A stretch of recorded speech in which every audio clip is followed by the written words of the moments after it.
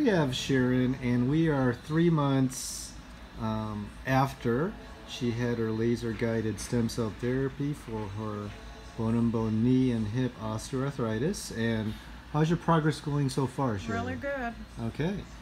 Overall, how many percent improvement, if at all, would you say you've had? I'd say 80 to 100 percent. Wow, wow.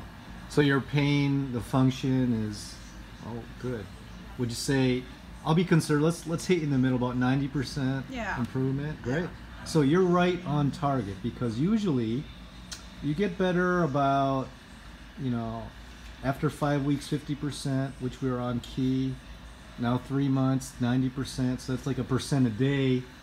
And you've been doing your home light stim Yes. right? Yeah. Stimulation, as well as I've even used it on other parts of my body. good. Yeah. hmm Because I was having some sciatica last night, uh-huh. and I put it on my back, and I'm better today. Good. Does that? Am I doing something that? That's fine because again, the cells will circulate in the whole body, repairing Oh. inflammation. And so the I- light stim will accommodate that. I do my hand too. Yeah, I that's have fine. tunnel. Like I said, so the cells that went to your hip Yes. and knee, Yes. you know, obviously they've done a good job repairing that, and the remaining will circulate in your body. They so, really do. That's and you I, could put the light stim panel Ah. on the areas of your body you want to pull those cells to. See. Yeah. Mm -hmm.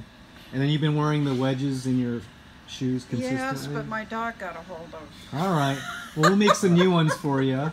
And can I see how your mobility is? Let's see how you could get up from the chair, walk across the hall, and come back.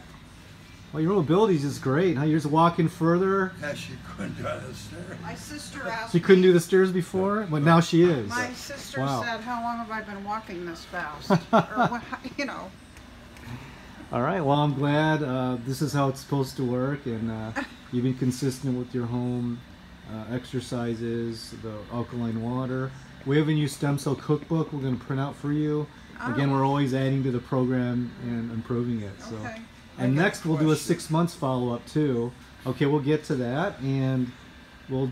All right, just keep on doing what you're doing. Okay. Congratulations. Ah, thank you.